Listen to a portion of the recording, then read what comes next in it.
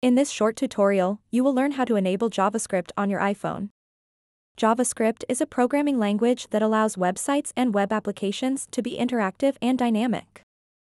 By enabling JavaScript on your iPhone, you can access and enjoy the full functionality of websites that rely on this language. To get started, open up the Settings app on your iPhone and then scroll down until you see Safari. Once you find it, tap on it.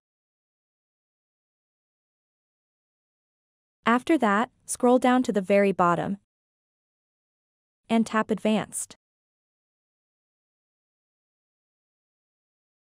Once you are on this page, you'll see the JavaScript option. To enable it, simply toggle on this switch over here.